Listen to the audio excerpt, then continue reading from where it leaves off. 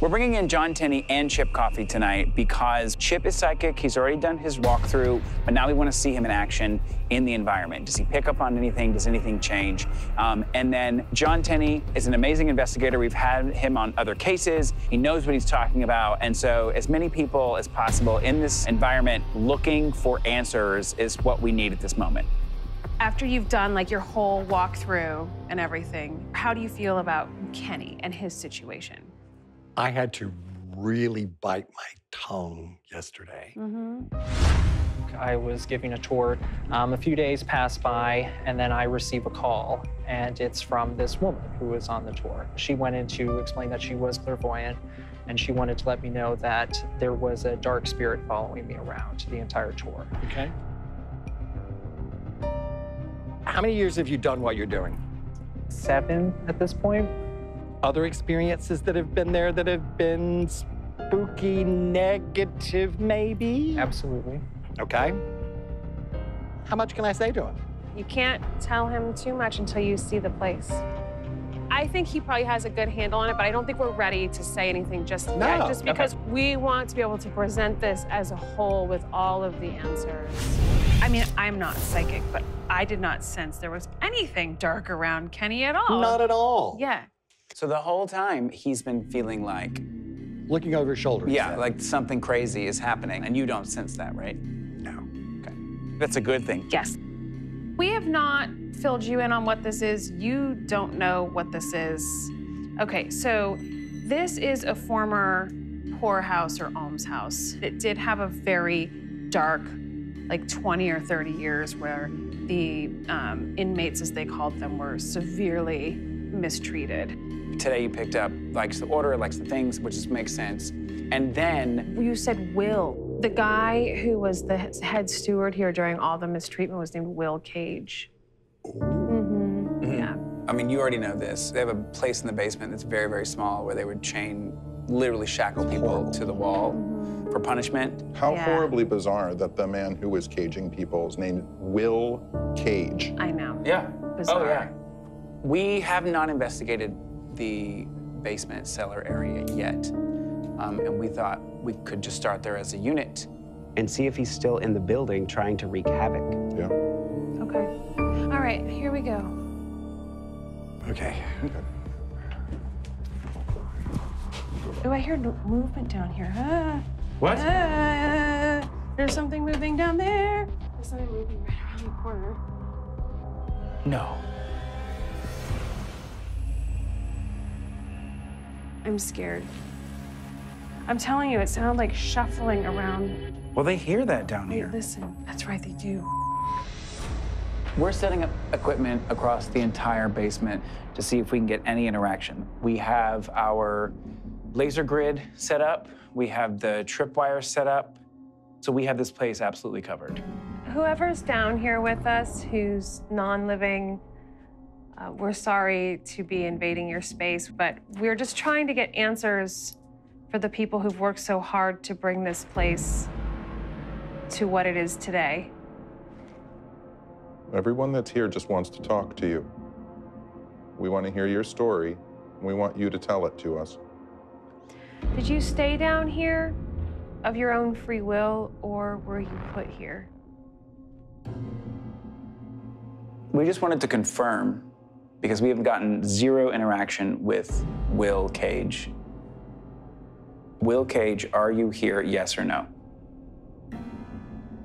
Can you make anything light up?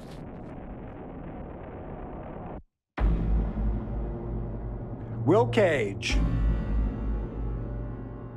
Will you come and visit with us, Will? We would love to have you come and say hello. Come and talk to us. Where are you, Will? Light up some of these lights for us.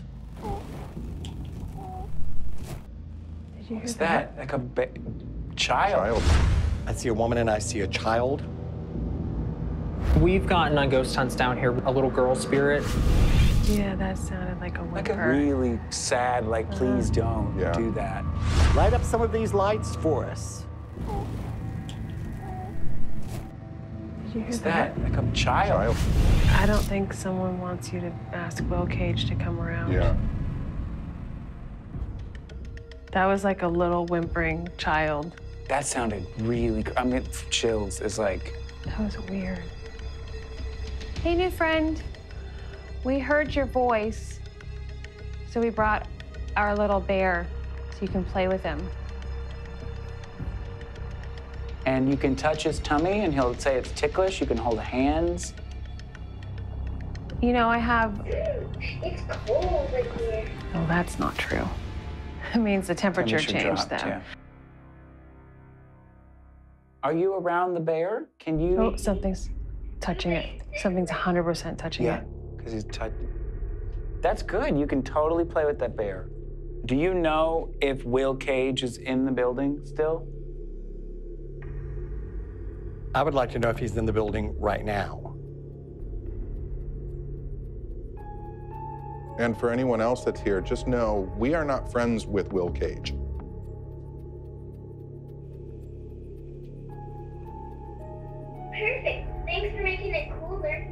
Keeps getting colder and colder. I'm gonna play this back.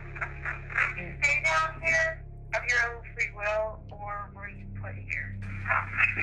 And if that's an Help me? question, I I think it said What? help me. What was that?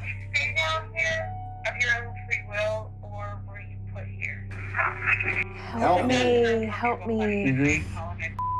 Okay, so let's be real. We have an EVP that clearly says help me, and then we get like a whimpering sound at even the mention of Will Cage. When Chip was like asking for Mr. Cage to come down here and be here, it was like, no, it was an, it was a audible, disembodied voice whimper of some Yeah. uh, being like, no. Is that someone who's truly here, or is that just like a residual energy triggered by mentioning him? Right. And I'm not picking up anything extreme in this room at this point in time.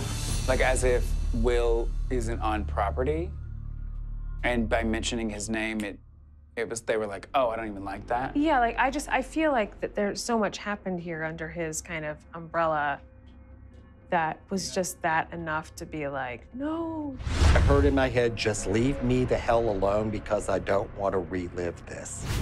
Just like bringing back an energy. Then they have these people coming in, investigating, and probably talking about him and stirring up that energy. Yeah. I mean, also, we asked about Will Cage. We were like, is he here? Is he here? Is there no response at all from him? That's important. Okay. Yeah. We've done a lot of cases in the past where we've encountered entities that were just as evil and just as corrupt, and they have always made their presence known no matter what. We didn't get any information, any EVPs, anyone else telling us that he was in the space, and we do not think he is in this space. But like, when you brought up Will's name, that's when we were getting activity. I can just picture this little child like whimpering in the corner, almost like, please, please don't mention his name. Like even this, even the mention of this guy's name, um, it, it, it, it hurts them. And it really helped us fine tune what we think is going on here. And I think if they continue in the way that they are operating, things should be fine. However, on the flip side, they've got to be cautious about who they let in here, who they let investigate, and it doesn't make it worse.